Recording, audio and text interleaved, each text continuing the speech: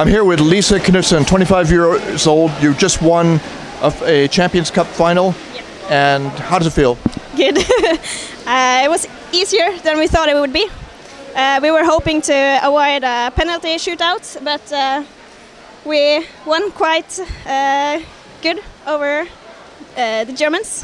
Yeah, so it feels good. And uh, what's wrong with you? You, you, you? You're afraid you broke your finger. Yeah, warming up.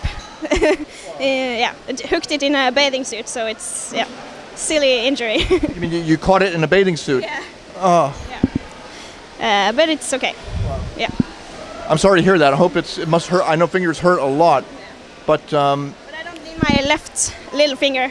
I don't need that. No. No. so taped it up. Just taped it up. How did you score the goal?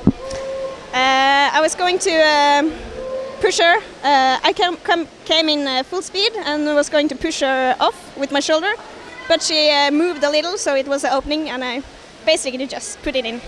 And which goal was that in the match? Number three. Number three. So you knew that, that you choked off their chances with that. Must have felt good. Yeah, it felt good.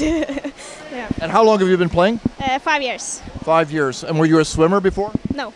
How did you get started? Uh, wanted to try something new. I was bored. And you looked it up on the internet? Yeah. Or did you see it on the news? No, I looked it up on the internet. It was a student group in uh, Trondheim. Yeah. So they're watching back home. Really good. So, yeah.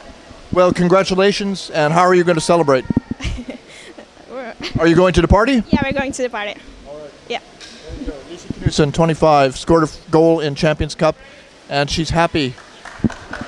Very happy. That was